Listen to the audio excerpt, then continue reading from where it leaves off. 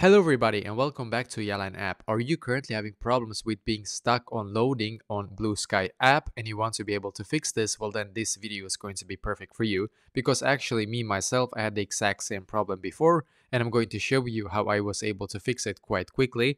So what I did firstly is that I closed my Bluesky app and instead I went into my settings app. And as you can see now we should be taken to a page similar to this. Now on this page what I did, I scrolled down and I clicked on general, then I clicked on storage. We need to wait in here for this page to completely load just so you know. And the reason for that is because when it's done loading we're going to scroll down and we're going to find the Bluesky app. And in there we're going to be able to fix this issue. So now I'm just going to wait. It's going to just take a couple of more seconds in here.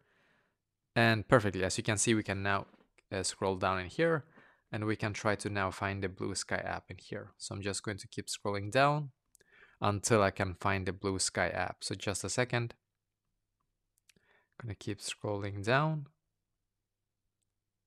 actually we can also click on the search symbol in the top right corner just to find it quickly so as you can see, Bluesky is in here. So I'm just going to click on Offload App and once again, click on Offload App in here. So this is what I did myself, by the way. And I clicked on Reinstall App again. And now you're just going to wait for the app to completely load. As you can see, it's, it's quite often quite fast, so don't worry. So we're just going to wait for it to completely load, then go back into your Bluesky app and hopefully this is now fixed for you as well.